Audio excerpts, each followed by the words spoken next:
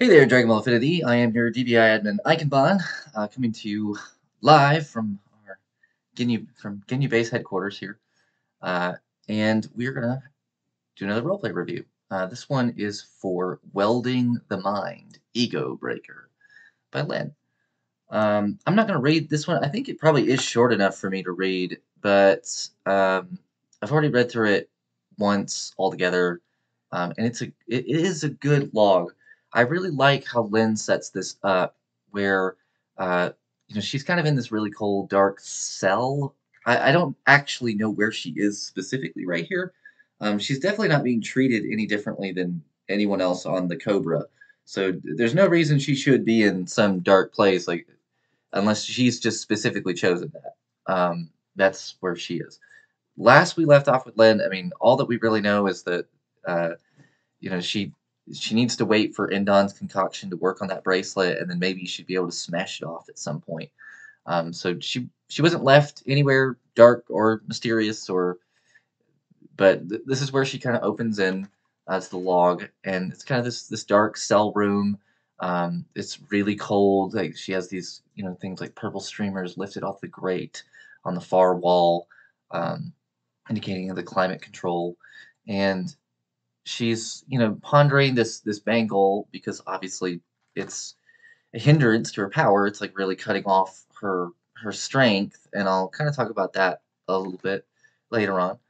Um, but there's a this this post right here. I think is really the the seller for the law. Well, this one and another one, but where she there's like an ancient image of like Planet Vegeta, uh, like rotating like a, a world that no Saiyan had seen in their life had seen in their lifetime. But Len could not help but feel strong ties to it. Planet Vegeta, um, and so she, as she sort of sees this this image somewhere, she starts to think about the Saiyan warlords that are on the fringes of the universe that have kind of been gathering and starting to attack places.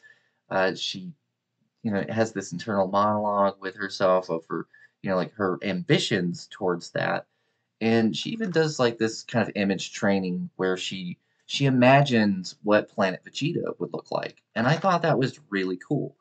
Um, you know, it seems seems kind of obvious in a way that like they're you know for Saiyans like maybe they would be homesick, maybe they would wonder like what was our world like before it became basically a nuclear wasteland. Um, you know, there there might be that might have been old stories that were told about Vegeta that you know. Uh, you know, maybe someone's clan came from part that was like really deserted place, and others came from a jungle, and they start, you know, maybe Saiyans every now and then when they get together, you know, especially Saiyans from different parts of the universe, kind of discuss, you know, what their families told them about Vegeta, and they kind of are building the landscape in their mind, like remembering, remembering what Vegeta was, but no one having a clear idea. Um, although all that kind of goes out the window when this is the you know the modern age with modern technology, so there probably is like videos and stuff of Planet Vegeta, but it's it's not the same, of course, you know. But uh, the the purpose of this log is really just you know she does this image training, and um, she's thinking she actually thinks a lot about how like Indon talks about power and starts to really internalize this ability that she's starting to develop, which she's calling ego breaker. Um, like she really goes through like the mental method of how she would make this work. And in this log, we it doesn't even properly happen, right? Like it's just the image training that is going on. So it's not like she's actually succeeded and done it yet. Um, but she's imagined her her way all the way to the technique. And basically the ego buster is like just really strong ki attacks. It's just putting all your ki into into your fist and you hit. And th- there's a way that she worded it when she sent the technique in that I just want to express right now. It's worded in such a way that like it's really strong, eh, but it has this drawback that like you could you know you could blow out your you know you could it has like a like by doing this by putting so much energy into it like you could crack your own bones or something sort of Kaioken esque um, which is cool. It's fine if you want to flavor it that way. Just mechanically, that makes no difference. It's no stronger or weaker than anything else. Um, if but if that's how you like to play it in your mind, that's fine. Uh, and if that's the way you want to like role play some of the consequences of using it, that's good too. but mechanically, it's no different than any other technique. There's no, it doesn't have to do that. You can just have superpowered ki strikes.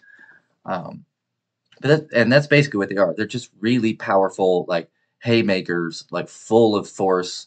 Um, they're they're actually, I'm going to say they're actually pretty similar to Jukin, uh, to uh, Nova's Jukin technique, or to Ragnios's Jukin technique, which I think is interesting since they they fought each other, and uh, I don't think I, I don't think that Len ever got hit with one, but the fact that they you know they had this big battle between one another and came away with the same idea of like this would be a really good way to end fights is I will just break your fucking bones. Um, I'll just put all the force into one punch and I will just crack every rib in your body.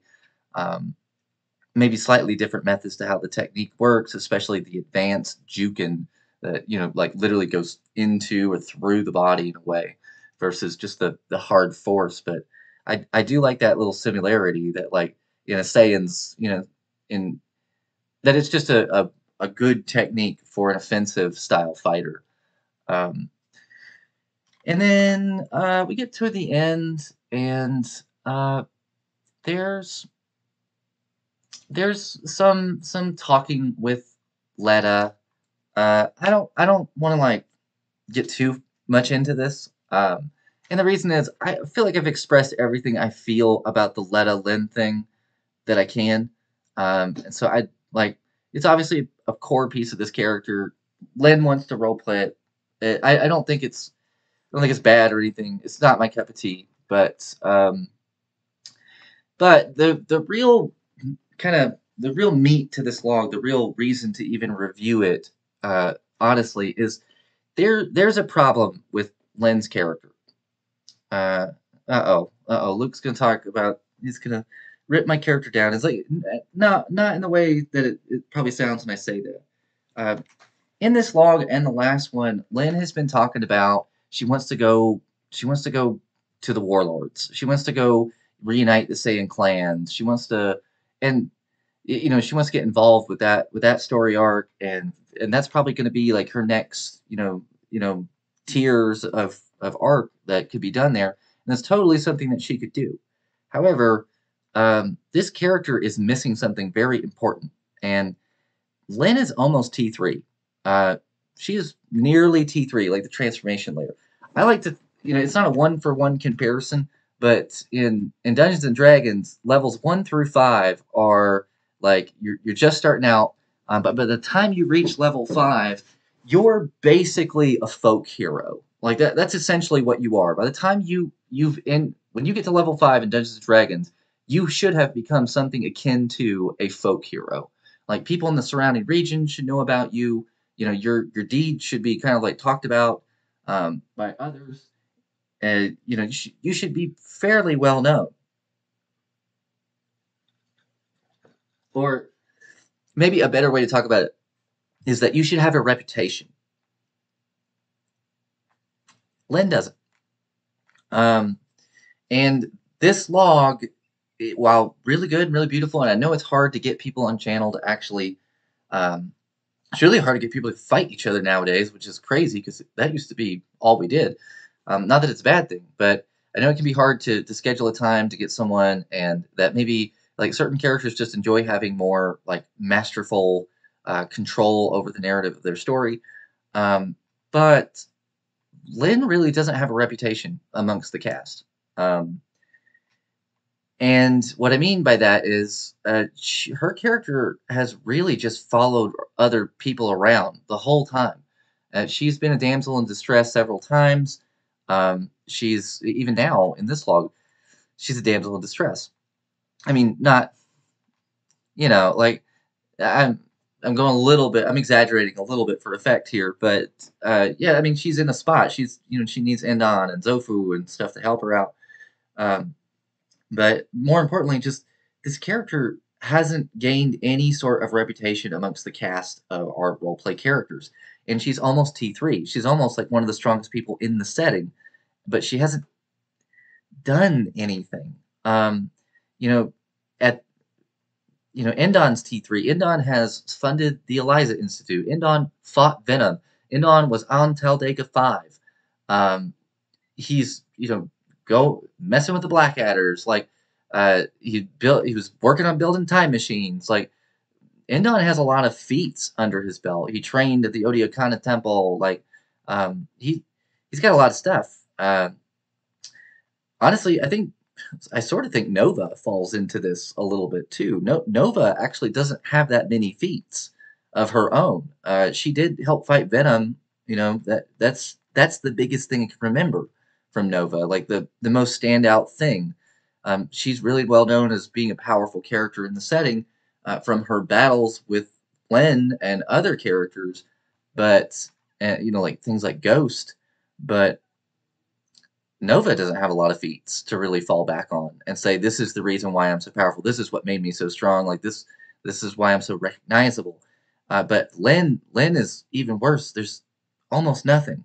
Uh, actually, and I, am not trying to be harsh. Uh, I think there is nothing because all of Len's training has been so internal. Uh, it's all been about this Letta thing. Like most of her fights, I mean, she did she did go up against Nova, who was you know stronger than her by you know a clear mile, but she did fight her, and she fought a boar in some bit fights, and then like maybe there's been one or two little things here and there, but for the most part, she hasn't done anything, and she's almost T three and has no reputation. Um, I know that kind of in the backstory of Len, we know that she was trained by Rasher. She was strong in some way, and you know when she was Letta, uh, but we've never we've never seen it. We we have nothing to base that off of except for her one fight and a little bit of training that she's done, um, at, completely on her own. So none of the characters in the setting, no one knows how strong Len is. Like really, the only person who has ever really seen her fight is Zofu, um, and Nova, and and that's it. That's really it. Uh, that's that's her one thing so far because all of it has been so internal. Now, why am I talking about this? Well, one, it's a problem because you are you only have a little bit more time to make that reputation. That's what those tiers are for. Tiers 0 through 2 is the time where your character should be making their claim in the world.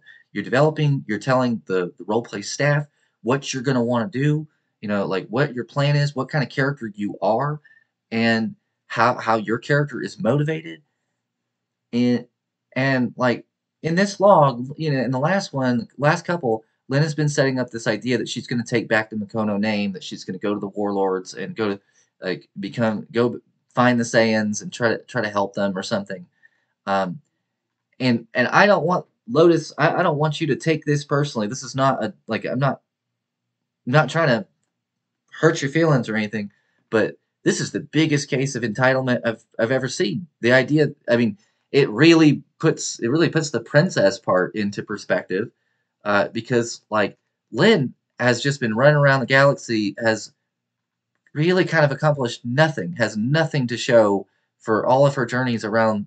You know, hasn't helped anyone, hasn't stopped any big bad, like hasn't. I mean, she's just been sitting there fighting in her head with these shadows of Letta and and that's pretty much it. Um, that's pretty much it. Like, what is she going to come to the warlords and say? Like, I am the descendant of the Makono clan. You should you should follow me because of that. Uh, no way, no way. Uh, and so that that's the problem that Lynn has right now. She needs to prove herself. Like she is getting up there in the tiers, and like this, like this power down thing with the bangle, like this is not the time to be doing that. This this is not the time. You need to bust that thing off, and uh, you need to actually get out there and start kicking someone's ass. I don't know who it is, or doing something, um, because it, it's it's you know it's a minute to midnight before you you reach the the Super Saiyans, and you, you've got you're behind. Like you, you don't have anything to your name to take to the warlords. Like there's nothing. And like again, I'm I'm not trying to be cruel. I'm not trying to hurt your feelings, but like I'm trying to really warn you. Like it's gonna fall flat if you go to them and and they look at you as anything other than an upstart, whiny little princess who thinks that they she gets to rule over them, she gets to lead them just because her name is Makono, the last of her dead line. Oh, and she's traveling with the man who killed her parents, uh, killed all of her family, destroyed her clan, gave up a mystical Dragon Ball that she could have used to restore Planet Vegeta if she wanted. Like, nah, man, this that's not gonna work. Um, and I mean, you've got the perfect nemesis to fight. You've got the perfect bad guy to defeat. Um, and like I just said, I mean, if she really cares about, if she really cares about the Saiyans, you know, it makes no sense to me that I care. I care so deeply about the plight of the Saiyans, except for you know my entire clan that got completely annihilated by the dude that I'm helping right now, or at least traveling with. Uh, I really care about the Saiyans, but uh, this dude's one dead village means more than maybe me getting my planet back. Uh, no, man, you you gotta get those Dragon Balls. Uh, I it blows my mind that that it was that, and I kind of felt like it was sort of out of left field that Lin cares so much about the Saiyans because again, like I, I threw a bad guy who killed your entire family and has the has mystical orbs that can solve the problems of your entire people. And and we're just going along with it. Like even if he is sympathetic as a character like that doesn't mean you guys couldn't want the dragon balls right? Like once you find out you can make a wish of anything like hell yeah i if i were len or nova or a, a Saiyan, you know like fuck Orokoga's dead family like fuck his friends i want planet vegeta back um that's that'd be would be going through my mind. Or like Greg, you know, wanting Korin Tower or something. Um, here's kind of a trick with the Dragon Balls, by the and this isn't a video about the Dragon Balls, but guys, the trick to the Dragon Balls is you need to invent a reason to want them. It's it's all well and good that we don't like my character's so selfless he would never he would never want to use the Dragon Balls. Fuck that. You you got to invent a reason to want them or need them. Can really create a contrived reason if you have to, because that's what the story is. That's what the series is. Or if nothing else, find some reason to hate someone who is going after them. I don't know. Um, anyway, uh, but I, I think this will be a big problem for you, Lin, if if you don't step up and start doing some heroic shit. Uh, and what I mean by heroic is not good or evil, just like big stuff, big things that gives your character a reputation because right now I don't think she has one. I, I don't think again, besides the fight that Zofu and Nova were in with her, I don't think anyone's ever seen her fight. I mean, really, they might have seen her training a little bit, but like no one has any idea what she's capable of. And frankly, Lin doesn't have any other qualities to fall back on as a character. Um, you know, she's not like Indon. She doesn't. She's not a scientist. She doesn't have uh, she's not even like Zofu, who you know at least he's a he's a bastard, but he's a he's that kind of bastard that's like full of finery and you know has this you know magical intrigue thing going on. All Lin is is a fighter, and we've hardly seen her really up against anyone real. Um, you you know she she's got to do something. She's got to she's got to make a reputation for herself, or else she's gonna run into this territory where where everyone's you know like she comes up to the warlords. Why why would they ever listen? Why why would they ever ever bend the knee to that woman? You know, um, a woman who has no nothing to her name, uh, and that no one knows, and no one knows how strong she is. Like, yeah, maybe you knock out a couple Saiyans or whatever, but you're talking about armies of them. Uh, you know, like you you need to have something to fall back on as a reason to lead them, um, if that's the story that you want to write. Um, so, yeah. Uh, again, I'm I'm just trying to help you get to the story that you want to tell, uh, and to tell it better. You need need to start working on this. You need to need to give Lin a reputation. Anyway, uh, this has been a review, and I am Ikenbon.